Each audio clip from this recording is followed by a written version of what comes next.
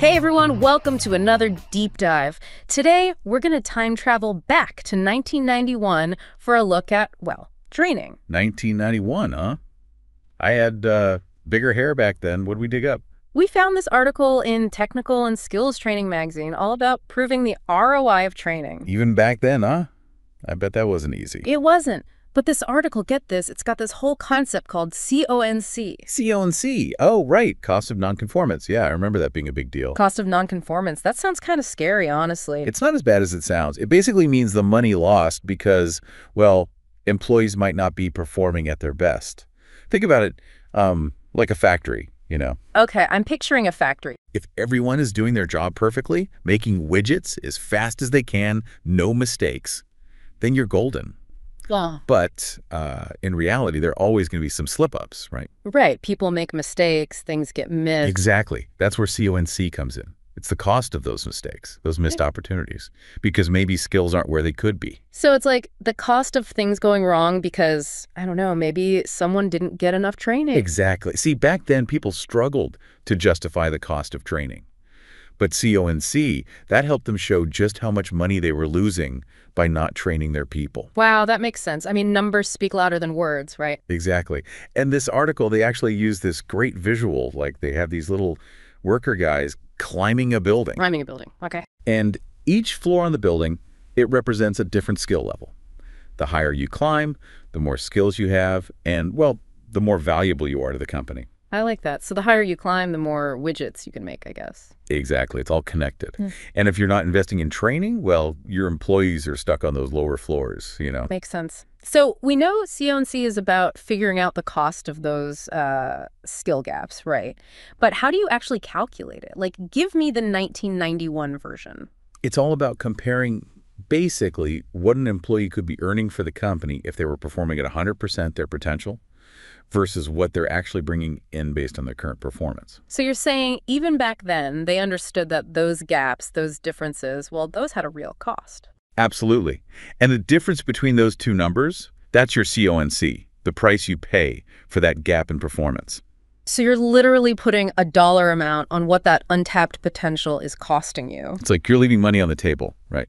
Untapped potential just sitting there. And training is the key to unlocking it, right? Exactly. It's like giving those workers uh, the boost they need to climb higher, improve their skills, and then bam, their performance goes up. And so does their value to the company. And as they climb, that CONC number, th that shrinks, right? Because you're closing the gap between what they could be doing, their potential, and what they are actually doing. Exactly. You're getting it. And, you know, and that was a big deal back in 91, this idea that training wasn't just an expense, but it could actually make you money. Because no one gets excited about spending money. But if you tell them, hey, this investment could actually make you more money, well, that's a different story. Right. And this article, they really emphasize that you can speak the language of business, forget all the fancy jargon, just show them the numbers, the return on investment. Yeah, I can definitely relate to that. It's like sometimes I try to pitch ideas at work, and if I just say, oh, I think this would be a good idea, it goes nowhere.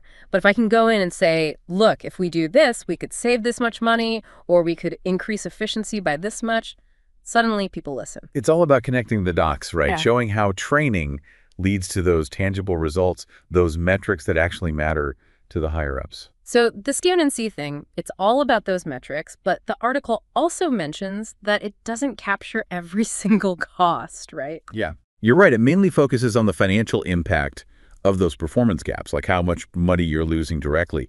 But think about all those other hidden costs that are harder to measure, you know, like um, how much time is wasted because people have to redo things or how many projects miss deadlines because of, well, maybe some skills are lacking. Right. All those little things add up. Exactly. Yeah. So even if you're not calculating CONC down to the very last penny, it's still a really valuable way to think about training. You know, shifting that mindset from seeing it as a cost to seeing it as a smart investment. Totally. And this article, even though it's from way back in 1991, it lays out this really clear framework for doing that, for making the case for training.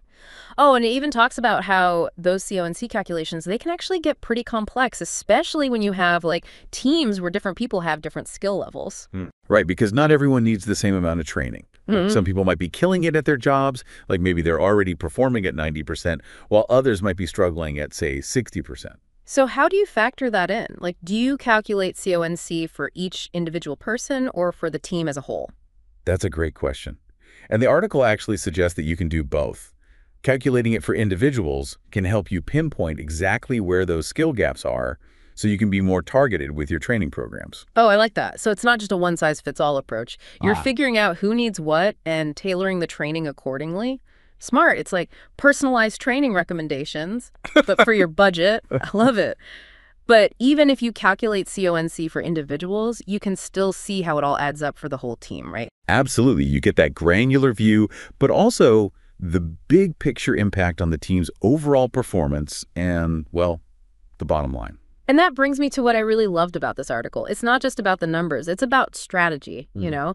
Like, they actually give you advice on how to use CONC to make a killer business case for training. Because even the best ideas need a good sales pitch, right? Exactly. And they had some really solid advice, even back then. Two things stood out to me. First, data is king. You can't just say, oh, I think training would be nice. You got to come armed with those numbers to prove that it's worth the investment. Data-driven decisions, always a good idea. Right. And CONC gives you that data. It's like, boom, here's how much money we're losing by not training our people. Hard to argue with that. Exactly. And their second piece of advice, Oh, yeah. Speak the language of business. Lose the jargon, ditch the flowery language, just get straight to the point. This training will impact the bottom line by X. because ultimately that's what it's all about, connecting training to those business outcomes that really matter. Exactly. And suddenly, that training budget doesn't seem so unreasonable right now. It's an investment, plain and simple. And this article, even though it's, what, over 30 years old now, it really lays that out beautifully. It's a good reminder that some things never change, right? Uh-huh. Even though the way we do training has evolved, the fundamentals of proving its value, those are timeless. Absolutely. So for everyone listening, think about it. How could you use this idea of CONC in your own work? Even if you're not calculating it down to the penny, just understanding that there's a cost to not training, that's a powerful mindset shift. It really is. Maybe you're not making widgets, but there's always a cost of nonconformance, right?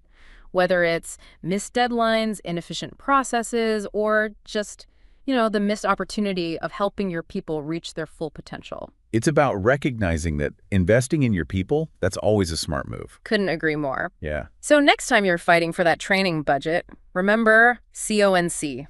Channel your inner 1991 training hero and show them the power of investing in growth. And who knows? Maybe those hammer pants will come back in style while you're at it. Let's not get ahead of ourselves. That's it for today's deep dive, everyone. Until next time, keep learning, keep exploring, and as always, keep digging for those hidden gems of knowledge.